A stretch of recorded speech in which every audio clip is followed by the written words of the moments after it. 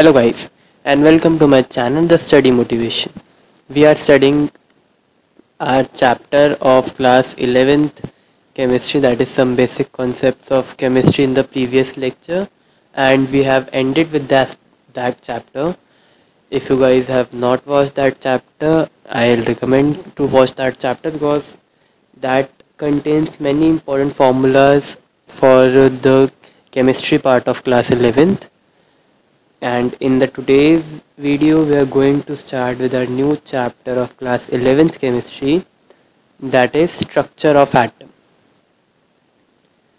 so guys इस chapter में हमें मोस्टली जो भी सारा का सारा होगा वो एटॉमिक स्ट्रक्चर के अराउंड ही रिवॉल्व कर रहा होगा सारे फॉर्मूले हमारे पास इसमें लाइन ऑफ़ स्पेक्ट्रम है सीरीज़ पढ़ेंगे हाइड्रोजन सीरीज़ पढ़ेंगे, हम इसमें डिस्कवरी कैसे एटम्स की उन सब चीज़ों के बारे में पढ़ेंगे। और बेसिक से शुरू करते हैं। सबसे पहले इस चैप्टर में बहुत सारे बच्चों को कन्फ्यूज़न होती है कि टैन एनायंस कैथोड एनोड के बारे में। सबसे पहले इसी को क्लियर कर लेते हैं। तो कैटायंस का जो बेसिकली मतलब होता है, वो पॉजिटिवली चार्ज्ड आयंस होते हैं। जैसे कि N M G two plus A L three plus anions negatively charge ions होते हैं, जैसे क्लोरीन एंड कैथोड हमारी नेगेटिवली चार्ज इलेक्ट्रोड्स होती है कैथोड और एनोड जो हमारी पॉजिटिवली चार्ज इलेक्ट्रोड्स होती है।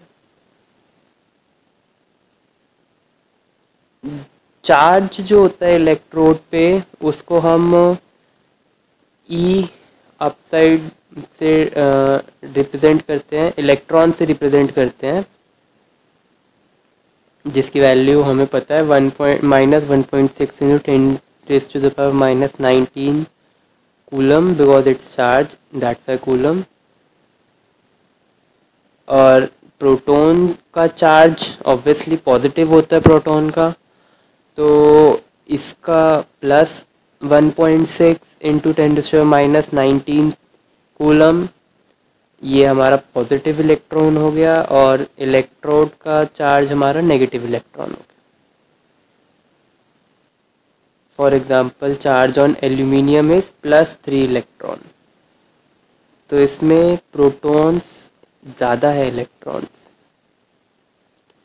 now alpha particle alpha particle में जो न्यूक्लियस होता है हीलियम का फर्स्टली हम हीलियम को एच ई से रिप्रेजेंट करते हैं। ये सब हम वैसे पीरियोडिक टेबल में पढ़ेंगे। नेक्स्ट चैप्टर में जब हम पीरियोडिक टेबल करेंगे पूरी, उसमें ये सारे सिंबल्स और एलिमेंट्स सारे हम पढ़ेंगे, जितने भी एग्जिस्ट करते हैं। हाँ और फॉर एग्ज़ाम्पल अल्फ़ा पार्टिकल्स के लिए और four subscript two of for helium जिसका टू प्लस आयंस है। इसमें अगर इस तरीके की रिप्रेजेंटेशन क्वेश्चन में आई तो इसका मतलब होगा हमारे पास जो प्रो प्रोटॉन्स है, वो दो है। न्यूट्रॉन्स वो भी टू है, क्योंकि प्लस टू चार्ज है। एंड इलेक्ट्रॉन्स हमारे पास ज़ीरो है। इलेक्ट्रोड्स हमारे पास ज़ीरो है। Number of electrons atomic number plus minus charge से हम निकाल लेते हैं। Number of protons atomic number ही होता है।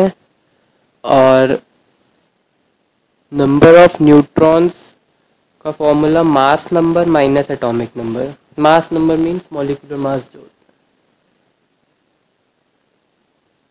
है। अब हम देखते हैं कि कैसे सब एटॉमिक पार्टिकल्स की डिस्कवरी हुई थी।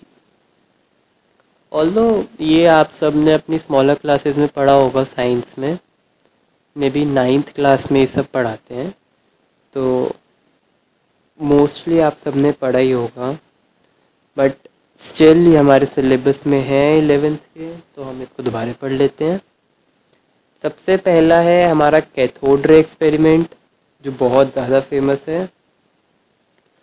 कैथोड रे एक्सपेरिमेंट का ये पूरा सेटअप है, जिसमें हमारे पास यहाँ पे ये बैटरीज़ है हाई वोल्टेज की, क्योंकि इसमें बहुत सारे सेल्स हैं।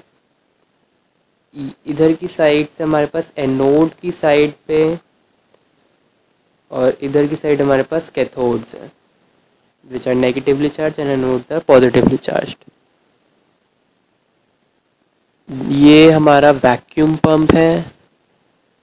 ये इसके अंदर वाली साइड पे वॉल के गैस है, जो कि लो प्रेशर पर है और आउटसाइड का प्रेशर ज़्यादा है। ये पार्ट ये पोर्शन ये शेडेड पोर्शन ये जिंक स्क्रीन है। Zinc sulphide Z N screen है। तो एक्सपेरिमेंट में जे जे थॉमसन ने डिस्कवर करे थे इलेक्ट्रॉन्स कैथोड एक्सपेरिमेंट को यूज़ करके। और हम इसको डिस्चार्ज ट्यूब एक्सपेरिमेंट भी कह देते हैं, कैथोड एक्सपेरिमेंट की जगह।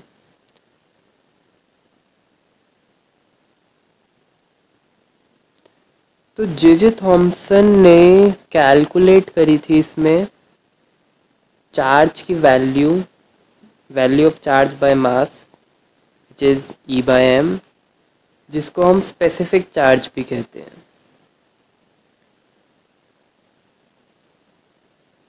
Value of E by M हमेशा कांस्टेंट होगी। चाहे गैस का कोई भी नेचर हो या कोई भी टाइप के इलेक्ट्रोड्स हो ई बाई एम हमेशा कांस्टेंट आएगी। E by M cathode rays के लिए होती है। कैथोड रेस के सारी टाइप के लिए। Because experiment cathode ray experiment है इसलिए cathode rays otherwise E by M की वैल्यू कांस्टेंट होती है और ये वैल्यू होती है 1.76 point seven six into ten raise to the power eleven coulomb per K G Millikan ने मेजर करी थी चार्ज की वैल्यू इलेक्ट्रॉन पे उनके फ़ेमस ऑयल ड्रॉप एक्सपेरिमेंट के थ्रू जो कि आई थी अगर हम मास में देखें तो nine point one into ten this power minus thirty one K G guys वैसे तो इस एक्सपेरिमेंट में ऑल दो आपको सिर्फ़ ये वैल्यूज़ पता होनी चाहिए, क्योंकि इसी के बेस पे क्वेश्चन पूछ लेते हैं कभी कभार वन मार्कर में, और कुछ नहीं आएगा इस एक्सपेरिमेंट में से। जब ये वैल्यूज़ आप थोड़ी सी याद रखना, और इससे ज़्यादा कुछ नहीं यूज़ होने वाला। अब कैथोड रेस की क्या क्या प्रॉपर्टीज़ है, वो इंपॉर्टेंट है, हम वो देख लेते हैं एक बारी। पहली प्रॉपर्टी है कि कैथोड रेस इनविजिबल बीम होती है इलेक्ट्रॉन्स की, लेकिन वो एक फॉस्फोरेंट मटेरियल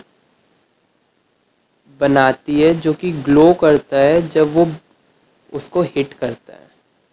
इलेक्ट्रॉन्स की बीम को हिट करता है, तब वो ग्लो करता है।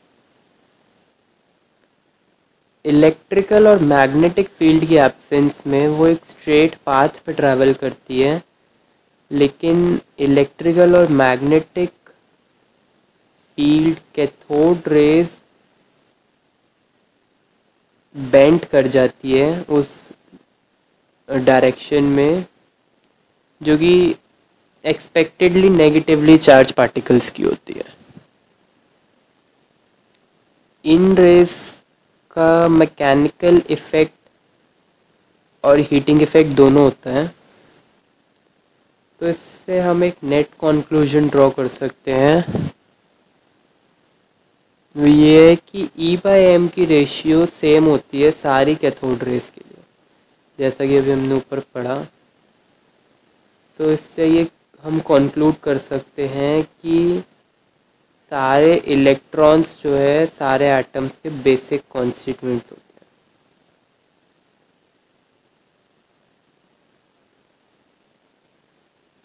नाउ कैथोड रे एक्सपेरिमेंट के बाद, अब हम एनोड रे एक्सपेरिमेंट देखते हैं। एनोड रे एक्सपेरिमेंट में भी सेटअप ऑलमोस्ट वही होता है, बस एनोड और कैथोड की पोजीशन चेंज हो जाती है। बाकी सब कुछ सेम रहता है। बस, और इसमें एक फ़र्क और भी होता है, एक चेंज होता है कि कैथोड परफोरेटेड होती है। दैट मीन्स कैथोड में होल्स होते हैं। अब एक्सपेरिमेंट क्या है, ये देखते हैं।